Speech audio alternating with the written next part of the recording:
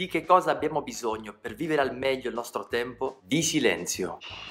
Non si tratta di fare qualcosa in più, ma di meno, anzi, si tratta di fare proprio niente. Facciamo già troppe cose durante le nostre giornate, siamo fin troppo affannati, ascoltiamo troppe persone, diciamo troppe parole e magari alla sera, quando siamo già con la coperta sugli occhi, pronti per addormentarci, ci rendiamo conto che tutte le cose che abbiamo fatto, tutto il tempo che abbiamo vissuto, ci sembra inconsistente, ci sfugge dalle mani. Bastano 10 minuti di silenzio per dare una svolta alla giornata. Perché? Perché siamo talmente immersi nelle voci e nei rumori del mondo mondo che non riusciamo più ad ascoltare la nostra voce. Prova a pensare alla tua routine quotidiana. Voci e rumori dalla mattina alla sera. Un martello pneumatico. Pam, pam, pam, alla mattina la sveglia poi subito tua madre, tuoi fratelli, tua moglie, i tuoi figli. Esci di casa, tac, cuffiettine con la musica, arrivi a scuola, al lavoro, parole, parole, parole, i professori, i colleghi, il capo, torni a casa, telegiornale, televisione, videogiochi, i compiti, il lavoro, lo sport, esci a fare l'aperitivo, vai a fare la spesa, torni a casa per cucinare, mangi, guardi il televisore, alla sera, tac, Netflix, Facebook, Instagram. E prima di andare a letto, l'ultimo sguardo al cellulare. Tutto il giorno immersi in una marea di suoni e di rumori bello, eh? Ma la tua voce? Che fine ha fatto la tua voce? Riesci a sentire la voce del tuo cuore? Delle tue emozioni? Che cosa sta dicendo la tua angoscia? Che cosa sta dicendo il tuo desiderio? Che cosa sta dicendo il tuo amore? Riesci a sentire la voce dei tuoi sentimenti? La voce della tua felicità? Della tua rabbia? La voce del tuo cuore? Se questa voce si perde in mezzo a tutte le altre voci, è un casino. Come puoi rimediare? Molto semplice. 10 minuti di silenzio. Entri in camera tua, chiudi la porta, spegni il cellulare e lo metti lontano. Lontano dagli occhi, lontano dal cuore e stai lì, fermo, per 10 minuti. A fare cosa? Silenzio. All'inizio sarà strano perché sarai assalito da mille pensieri dentro la tua testa, ma resisti. Ad un certo punto le tue mani fremeranno e ti renderai conto che hai un corpo, che hai un respiro, che puoi sentire il ritmo del tuo cuore. E alla fine dei 10 minuti, se avrai resistito, troverai la cosa più importante, te stesso, la tua unicità, la voce che parla dentro il tuo cuore e potrai sentire che cosa dice. Sei arrivato nella stanza del silenzio, la stanza stanza del tuo cuore e lì trovi tutto quello che hai per essere unico, tutto quello che ti manca per riuscire ad esserlo veramente. Lì trovi te stesso. A che cosa servono 10 minuti di silenzio in una giornata? Perché solo così hai la possibilità di mettere a tacere per un attimo tutte le voci